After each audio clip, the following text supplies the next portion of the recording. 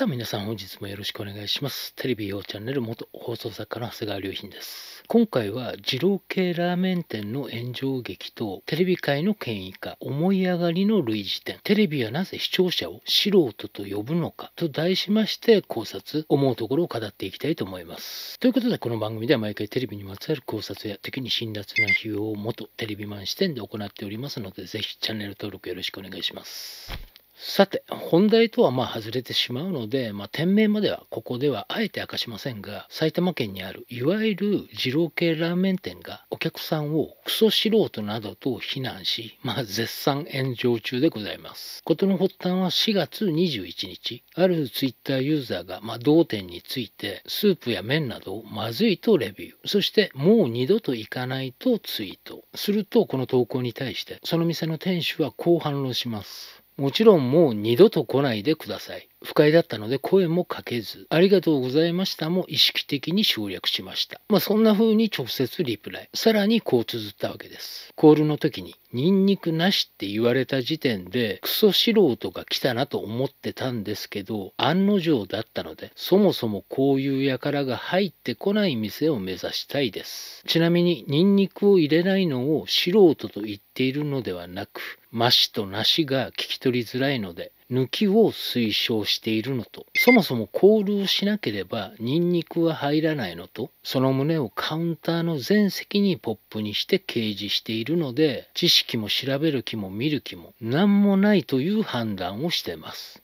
とまあそんな風に怒りを爆発されていました。いや何でしょうかね。そもそもこう店独自のローカルルールが多いんですよね。いわゆるしきたり。正直この手のルール型のお店には個人的な経験で言うとちょっとあれな飲食店が多い気がします。なぜならそれは権威化の一つだからです。要はお客さんをふるいにかけるためのハードルの一つなんですよね。ちなみにこうラーメン屋さんによく見られるこう腕組みもこうしたポーズの写真なんかもまたある種の権威づけ、ハードルを設けるというまあ記号化の一つだと思います。いや別にあれ単純にこうどやりたい、威張りたい、舐められたくはないという虚栄心に起因するものではなく、いやそういう方も中にはいるでしょうが、ただまあその根底にあるのは、ある種のまあ心理的ハードルを設けてお客さんを選別しようという企てが無意識に働いているのだと、まあ個人的には思います。要はまあこんなマッチョでナルシスティックな俺様だけど、理解できる人だけが来店してねというスクリーニングでありメッセージで結局その感情こそ先民意識の発芽につながりわからないお客さんやその反発の声に対し素人のくせにという発言を生むわけです。事実まあ二郎系には多くの支持者がいます。ある種のまあ信者ですよねこれもまたそういう権威化の賜物だと思います。こうした手法を取ると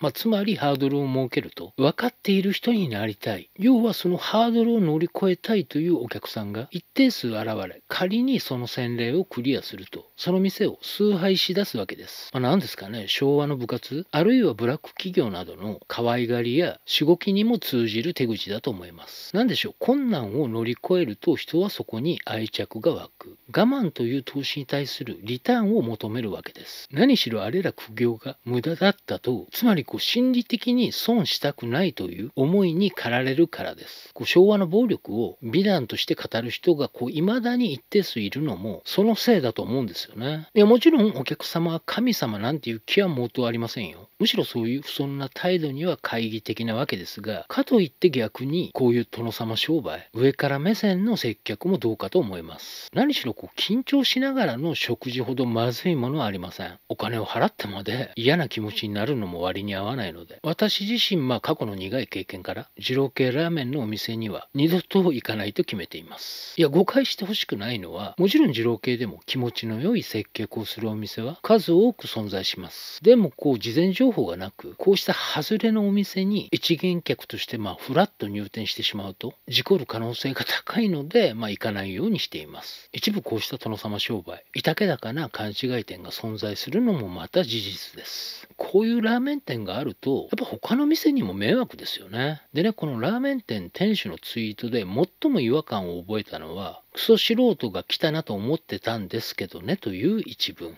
しかもそれはこう私だけではなくこの店に批判的なツイートをされている方のほとんどがこの素人がの部分に反応怒りをあらわにされていました。ちなみにその中の一つに土星論のツイートを見かけたので紹介します。どんな商売でも政治でも法律でも病院でも芸能でも学者でもプロが相手にするのは一般人。要するに素人が相手なのですよ。素人に何がわかるといった時点でもうプロではない。素人を相手にするのがプロなのです。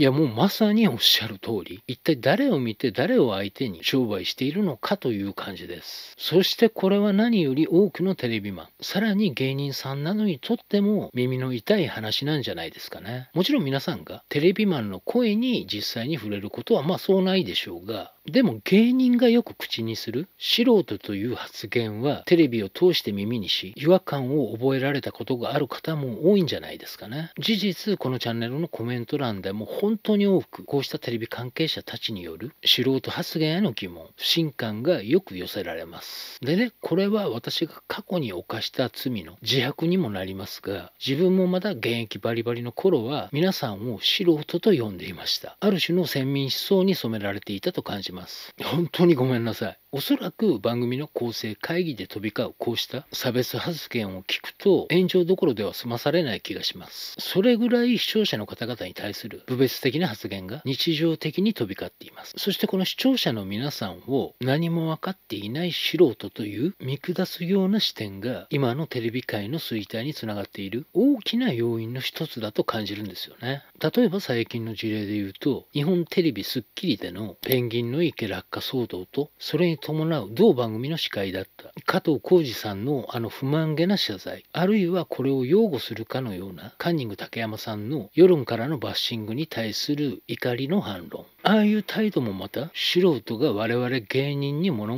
申すなというおごりが見え隠れする。そもそもあのペンギンの池落下騒動ももともとは「おいカスが絶対に落ちるなよ」といういわゆる芸人のお約束に起因するわけです。つまり今回の二郎系ラーメン店のルールの複雑さと同じであれもまたテレビ界の身勝手なルールでしかありません。こんなこともわからないやつは客としての来店はごめん被るというようにラーメン店店主とお笑い会というかテレビビ界全般ですよね。この両者の怒りは構造的に相似系なわけです。そしてこのルールの複雑化こそ、冒頭でも触れたように、ハードルを設けるという、ある種の権威化につながるわけですよ。視聴者をふるいにかけ選別、自分たちから見て、わからない視聴者を素人がーっとこう見下すわけです。つまり、権威に対する反発が許せないだけのことなんですよね。で、こうして自分たちにこう都合のいい声だけにしか耳を貸さなくなる。いや、こんなの芸人としてのお約束だろう。そんなこともわからないような素人は黙ってる。そんな欺瞞や傲慢に満ちた的外れない怒り。そして今、業界特有のこうした身勝手かつ、権威化のための陳腐な慣習に不満の声が噴出しているわけです。いや、そもそもそのルール自体がおかしい。身内だけのお約束を、さもエンタメであるかのごとく、面白がり、身内だけで正当化。しかもそれを面白がれない人間を、これだから素人は、と揶揄されるのはおかしい。そんな視聴者の不満の声がようやく上級国民としてあぐらをかく。テレビ関係者にも届くようになった。特に SNS 社会の流星でそんな不満の声を拡散させることのできる武器を市民が手にしたことでダイレクトにその苦言が届く時代になったわけです。そしてテレビ関係者の多くがその不満の声に戸惑いそんな苛立ちからか竹山さんのような時代錯誤な理屈が怒りとして爆発露見するわけです。つまりもはやこうした視聴者の不満満の声をテレビという権威では抑えることができなくなったわけです。操作不可能アンコントローラブルな社会へのある種のテレビマンたちの恐怖でもあると思うんですよね。そしてその戸惑いが昔は良かったななどという外交趣味的な安い老害発言にもつながる。しかもこうした素人は黙ってるという視聴者を見下すような視点はテレビを陳腐化させ結果的に弱体させます。なぜならこうした先民思想に染まるとある種のポピュリズム分かりやすさの徹底追求究が始まるからです。何しろその根底にあるのが、所詮素人がという視聴者に対する偏差値軽視という小馬鹿にした侮り、どうせこのぐらいのレベルしか、あいつら素人にはわからない。そんな視点が制作過程で混在するわけです。そしてそれは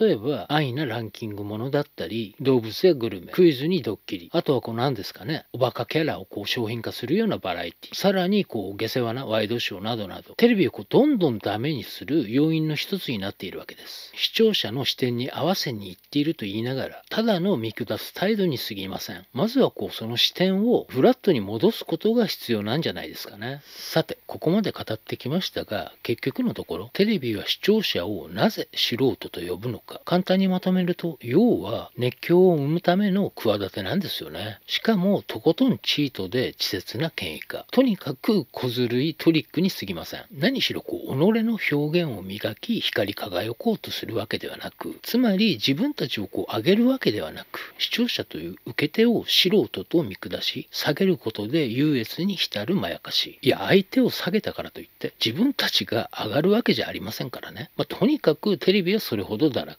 そして裏を返すと、それほど困窮しているということでもあります。力技で無理やり作り上げた特権意識でしかないんですよね。ということで今回の動画は以上になります。この番組では毎回こうしてテレビに対する考察や時に辛辣な批評を行っております。今回少しでも参考になった、面白かったという方は高評価並びにチャンネル登録よろしくお願いします。あと、Twitter もやってますのでぜひフォローお願いいたします。今回も最後までご視聴ありがとうございました。ではまた次の動画で。